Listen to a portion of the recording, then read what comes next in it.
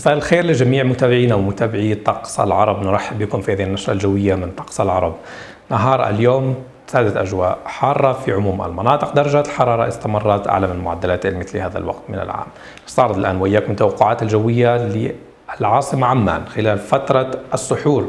حيث تتفرق بعض الغيوم 13 درجة مئوية كحرارة خلال فترة السحور 12 درجة مئوية ملموسة.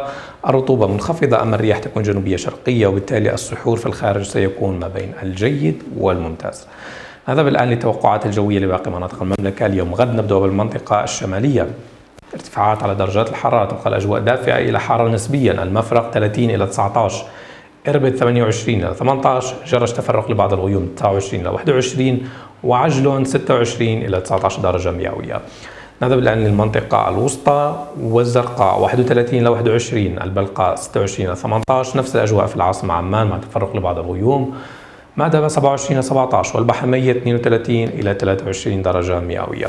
المنطقة الجنوبية الكرك 28 إلى 18 الطفيلة 25 إلى 16 الشربك 25 إلى 15 ومعان 29 إلى 17 والعقبة 33 إلى 21 درجة مئوية.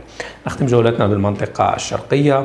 الأزرق تفرق لبعض الغيوم 34 إلى 21 درجة مئوية. الرويشة 32 إلى 18 ونفس الأجواء والحرارة في الصفاوي مع تفرق لبعض الغيوم بدون فعالية.